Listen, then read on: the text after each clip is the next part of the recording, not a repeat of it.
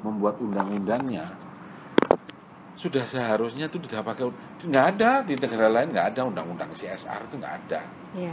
karena kalau kita nyadarin bener ya perusahaan bukannya saya sok ide- enggak karena cobalah kita berbisnis itu tergantung siapa itu tergantung masyarakat oh dia yang beli Iya. kalau nggak ada yang beli kita akan tutup terus kita nggak care sama Hmm. masyarakat itu kan gila Hmm.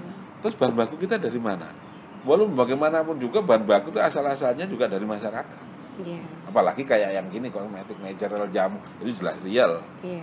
terus kita biarin gitu aja. Rasanya kok aneh ya kan? Kita nuntut mau produk apa bahan baku yang berkualitas tapi kita gak mau ngajarin kan salah. Iya. ya kan? Nah jadi sebetulnya CSR itu adalah suatu keniscayaan yang kata-kata itulah yang bikin ini. Entah katanya sebenarnya katanya apa terserah lah. Mau CSR entah berbagi entah apa terserah sebetulnya kan? Tapi tapi CSR itu adalah tidak perlu di itu adalah suatu keniscayaan dari suatu industri untuk memberikan share untuk peduli care terhadap masyarakat stakeholder yang ada. Stakeholder meliputi ada supplier konsumen eh, pemilik modal ya kan Eh, semuanya pegawai itu juga juga juga stakeholder. Itu harus untung makanya bukan 3P lagi tapi 5P tadi. Iya. karena ada prosperity peace kedamaian dan partnership.